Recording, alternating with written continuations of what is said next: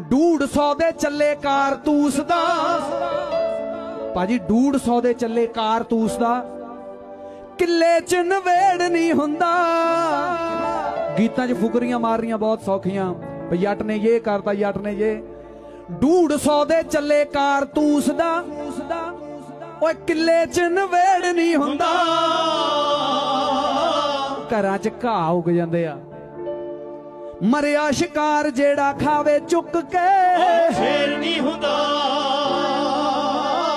ਮਰਿਆ ਸ਼ਿਕਾਰ ਜਿਹੜਾ ਖਾਵੇ ਚੁੱਕ ਕੇ। ਓਏ ਸ਼ੇਰ ਨਹੀਂ ਹੁੰਦਾ। ਡੋਲਿਆਂ ਨੂੰ ਵੇਖ ਲੈਂਦੇ ਫੀਲਿੰਗਾਂ ਬਗਾਨੇ ਪਾ ਦੇਣ ਕਿਕਲੀ। ਡੋਲਿਆਂ ਨੂੰ ਵੇਖ ਲੈਂਦੇ ਫੀਲਿੰਗਾਂ ਬਗਾਨੇ ਪਾ